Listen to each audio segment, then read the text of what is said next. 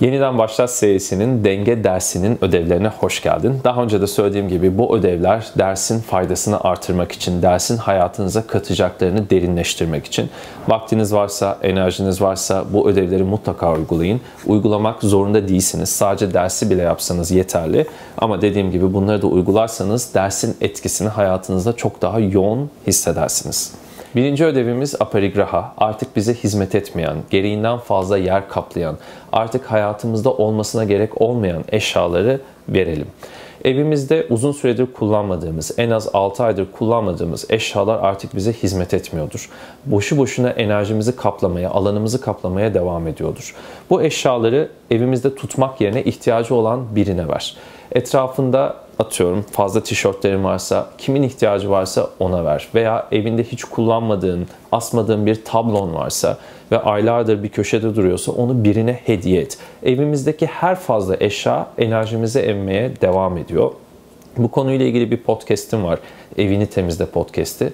Onun da linkini aşağıya bırakacağım. Mutlaka dinleyin. Ne demek istediğimi çok daha iyi anlayacaksınız. 6 aydır kullanmadığımız her eşya aslında artık hayatımıza pek de hizmet etmiyordur. Ve o noktada o eşyaları vermekte büyük bir fayda var elimizde tutmaya devam etmek yerine. Tabii ki bazı eşyaları çok sık kullanamıyoruz ve ihtiyacımız oluyor. Mesela çekiç gibi ve bunu evinizde bulundurmanız gerekiyor olabilir. Ama bir tişörtü aylardır giymiyorsanız o tişört açgözlülükten dolayı orada duruyordur. İhtiyaçtan dolayı değil. Vermenin de bir büyüsü var. O yüzden bunları verirken de bir deneyim yaşayacağız. Bunları verdikten sonra açılan alan da bize bir deneyim yaşatacak. İkinci ödevimiz başkaları hakkında konuşma. Başkaları hakkında konuştuğumuzda onları merkezimize doğru çeker ve enerjimizi onlarla paylaşırız. İletişim kanalımız onlara doğru akar. Yaşamımızdaki dengeyi bulabilmemiz için önce merkeze kendimizi koymamız lazım. Önce meselemizin kendimiz olması gerekir. İletişim kanallarımızın kendimize doğru akması gerekir. Önce kendimizle yani iletişim kurmamız gerekir. Bu yüzden başkaları hakkında konuşmak yerine enerjimizi kendimizle iletişim kurmaya harcayalım. Bu süreç boyunca başkaları hakkında konuşurken kendimize şu soruyu soralım. Neden başkası hakkında konuşuyorum? Enerjimi onunla paylaşmak benim nereden kaçmama fayda sağlıyor? Enerjimi onunla paylaşmak benim hangi alanda kendimi görmeme mani oluyor? Bunu bu soruyu kendimize sorabilirsek neden başkasına kaçtığımızı, neden merkeze kendimizi koymak yerine merkezden uzaklaşarak başkası üzerinden o enerjiyi çalıştırma ihtiyacı duyduğumuzu çok daha iyi anlarız. Üçüncü ödev sonuçlara karşı tarafsız kalmak ve bununla ilgili yazacağız.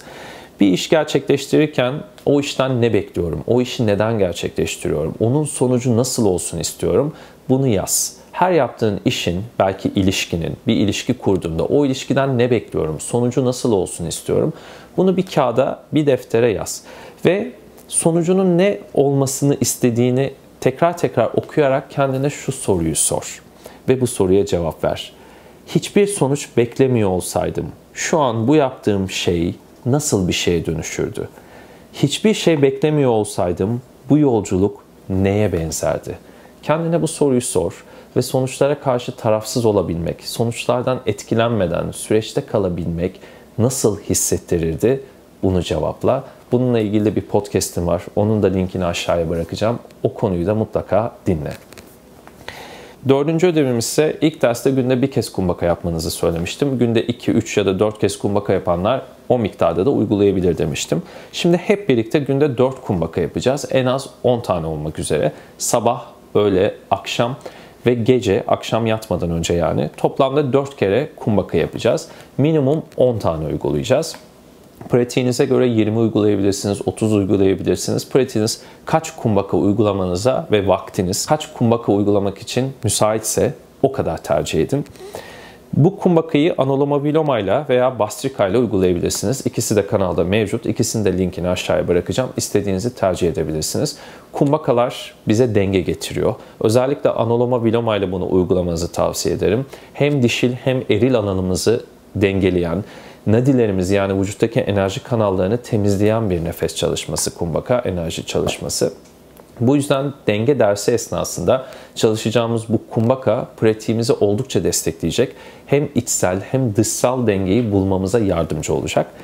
Bununla birlikte satvik beslenmeye hala devam edebiliyorsan devam etmeni tavsiye ederim. Çünkü satvik beslenme denge unsurlarından bir tanesi. Dengeyi ortaya çıkartan, dengeye yardımcı olan en önemli unsurlardan bir tanesi.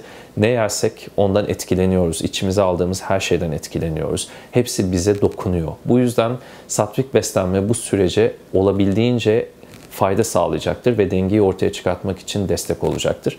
Eğer devam ettirebiliyorsan satvik beslenmeyi devam ettirmeni öneriyorum. Devam ettiremiyorsan da en azından bu sürede vejetaryen beslenmeyi deneyimleyebilirsin. Denge dersinin ödevleri bu kadar. Bir sonraki dersin ödevlerinde görüşmek üzere. İyi pratikler. Namaste.